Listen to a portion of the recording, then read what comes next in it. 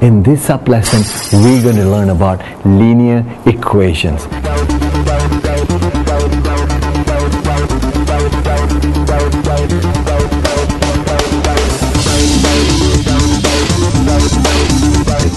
Now what happened? They're not equal. They call inequality.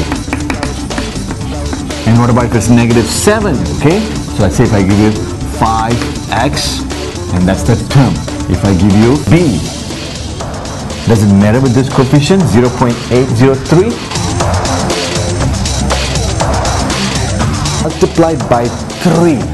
A number multiplied by 4 times 3 is also equals to 10 plus 2 equality. When Mr. Max say equality, what is equality? This is pretty much 8x times x. See that?